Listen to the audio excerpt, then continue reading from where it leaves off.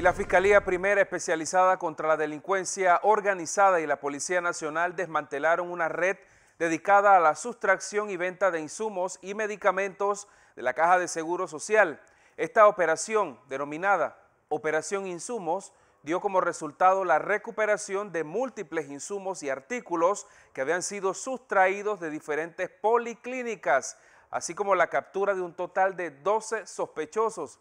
Las investigaciones iniciaron el pasado mes de abril cuando se procedió a corroborar que estos sospechosos estaban dedicando a sustraer insumos médicos de los depósitos de las policlínicas.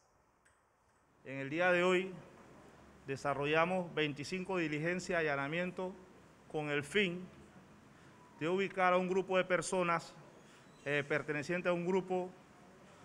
eh, de una organización criminal dedicada a la sustracción de insumos eh, de la Caja de Seguro Social y del Ministerio de Salud. Insumos especialmente eh, de la Policlínica de Arraiján Blas Gómez y del Hospital de Especialidades Pediátricas. Se ha dado con aprehensión de 12 personas, de las cuales 5 de ellas son funcionarios públicos,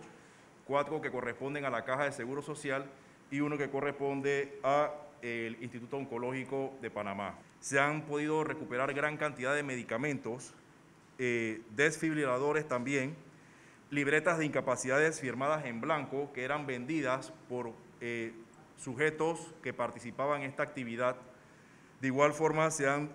ocupado códigos de barra que eran utilizados de alguna forma para poder cambiar el registro o la numeración de código de barras original de la caja de seguro social, cajas de kit de muestra de hisopados, entre otros insumos médicos que han podido ser recuperados en el día de hoy a través de la operación. Estas personas llegaban con eh, recibos eh, de una supuesta empresa eh, que se dedica a la venta de insumos médicos